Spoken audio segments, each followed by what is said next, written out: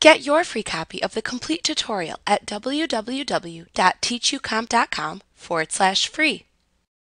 After sharing a company file in Sage Drive, you can then add and remove users to manage user access in Sage Drive.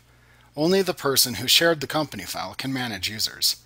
To manage user access in Sage Drive with the shared company file opened in Sage 50, select File, Sage Drive, Manage User Access Management Center from the menu bar to open the Sage Drive Management Center in a new web browser window and show the shared company file in Sage Drive.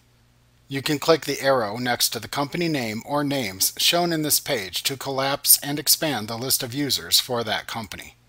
In the upper right corner of the list of companies, you can select either the By Company or By User option button to show either the company files or the users within the list below.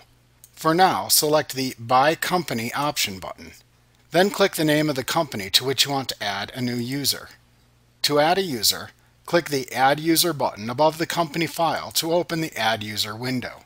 Then enter the user's name into the Name field, their email address into the Email field, and then select the user's access level from the Access Level dropdown.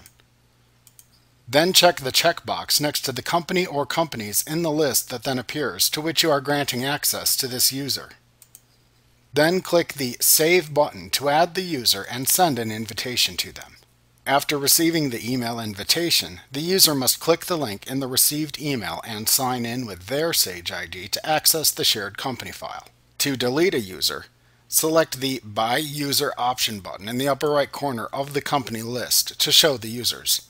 Then click the name of the user you want to delete. Then click the Delete User button above the list. Then click the Yes button in the confirmation prompt window that appears to finish. Note that you can also use the same process to edit a selected user's information by clicking the Edit User button instead.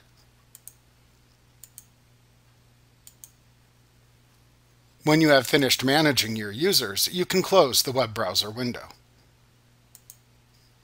You can also easily manage shared file access in Sage Drive.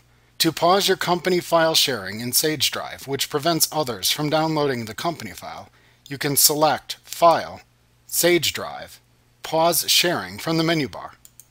Then click the Continue button in the Sage 50 message box to pause sharing the file. Then click the OK button in the message box that tells you to resume sharing to upload your changes when you are finished. To resume your sharing when finished, select File, Sage Drive, Resume Sharing from the menu bar. Sage 50 then creates a backup and sends it to Sage Drive. Then click the OK button in the message box that appears to tell you that you have started sharing in Sage Drive again. When you stop sharing a company file, the company file is no longer shared and it is deleted from the Sage Drive Management Center online too.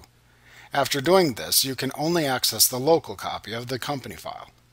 To stop sharing a company file in Sage Drive, select File, Sage Drive, Stop Sharing from the menu bar. Then click Yes in the Sharing Warning message box to continue. Then click the OK button in the confirmation message box that appears.